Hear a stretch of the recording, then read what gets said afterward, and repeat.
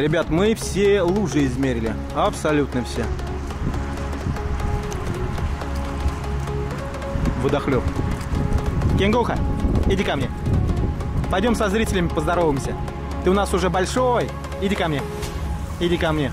Ты мой хороший. Блин. Кенгуха, ну не шлепай ты меня, всего обшлепал. Иди ко мне, малыш. Кенг, иди ко мне. Сюда иди. Иди сюда. Иди сюда. А, давай поздороваемся со зрителями. Итак, ребят, всем привет. У нас сегодня выход.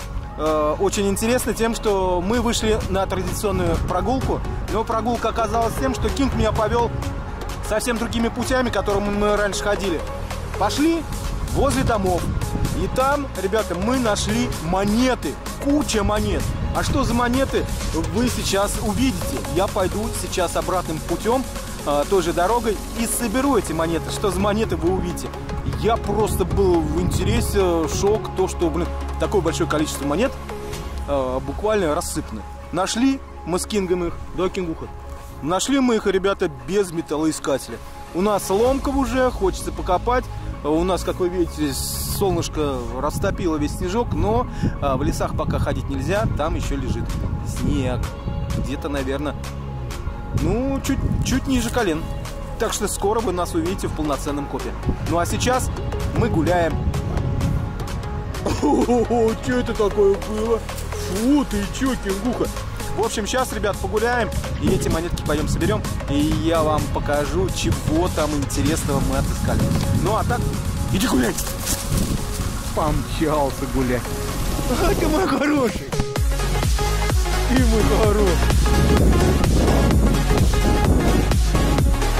Ай, ай, ай.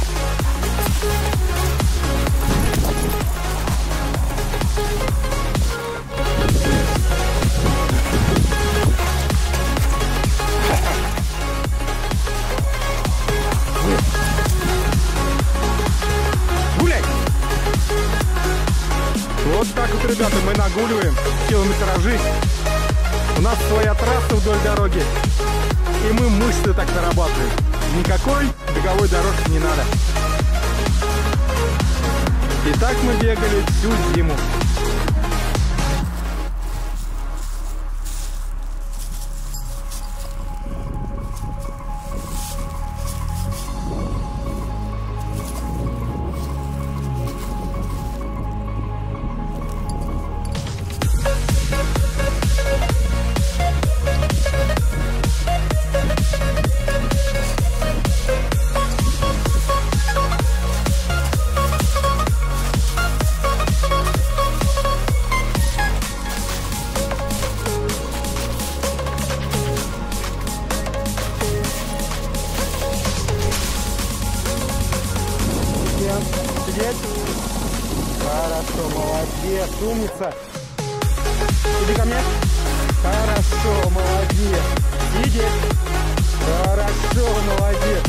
Посмотри, что у меня есть. А? А? А? А? Хорошо, молодец. Взять.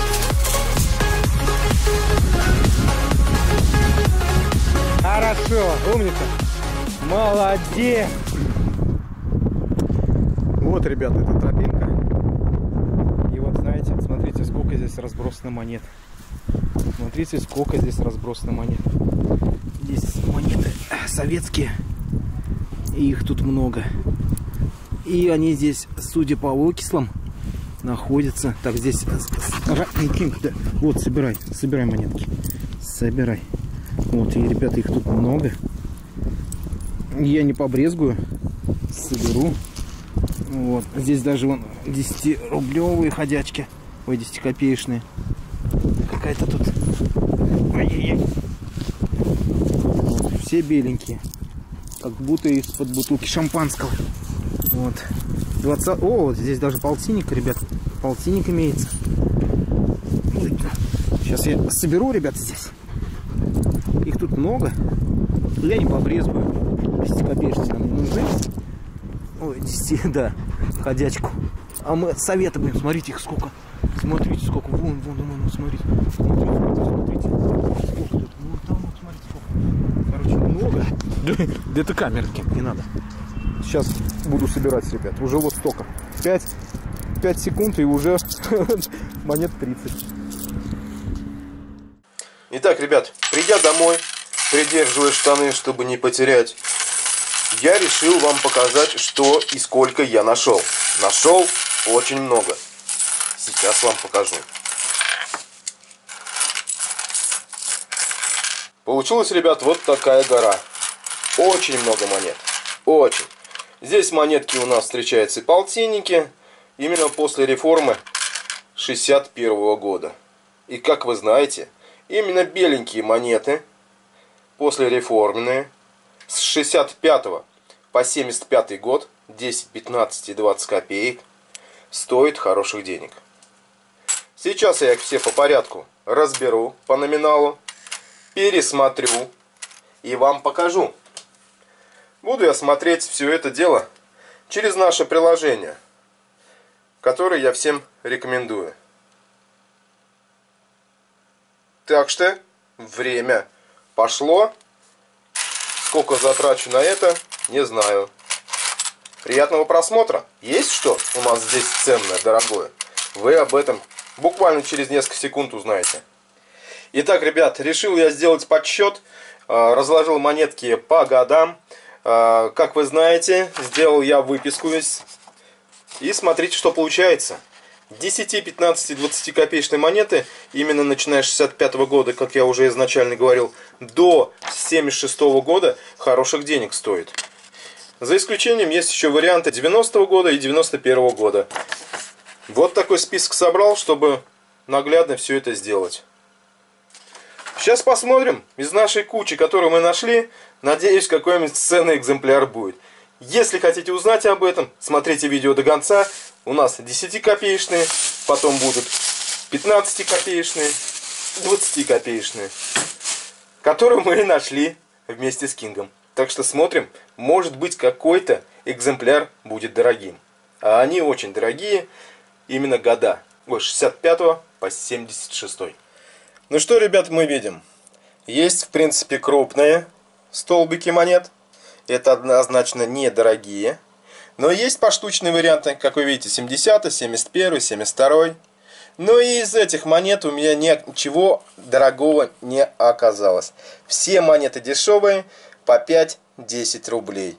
Единственное, что хорошие экземпляры, это вот эти две монеты, юбилейные, 10-копеечные, 1917-1967 года. Вот такие вот две штучки. Цена 80 рублей. Так что из этих монет ничего ценного у нас не оказалось. Теперь смотрим. 15-копеечные. Может там мне посчастливилось. Это как лотерея. А вдруг? А может быть. Ну что, ребят, следующая расстановка по годам. Получилось 127 пятнашек. Стоимость монет, к сожалению, редких дорогих нету. Цена каждой такой монетки 5-10 рублей. Из всего ценного оказалось 76 год. Стоимость такой монеты, согласно каталога, 50 рублей.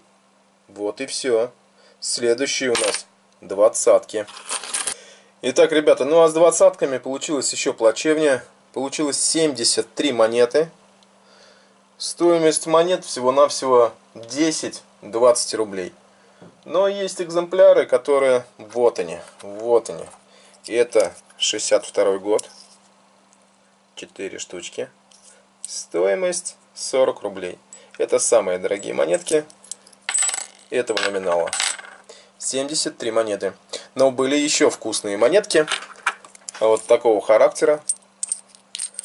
Горбачевские его периоды также имеются. Сейчас я их вам тоже покажу. Ну и помимо советских монет, после реформы 61 года были еще и такие вот монетки. Что касается реформы 5, 3, 2 и копейка, они ничего не стоят. 5-10 рублей максимум. Что касается других монет, а, было 4 полтинника 93 -го года. Стоимость таких монет 5 рублей, не более. Если бы эти полтинники были биметалл Ленинградского монетного двора, то они являлись бы раритетными. Следующие монеты было 5-рублевые 92 -го года. Ленинградский монетный двор. Цена 5 рублей.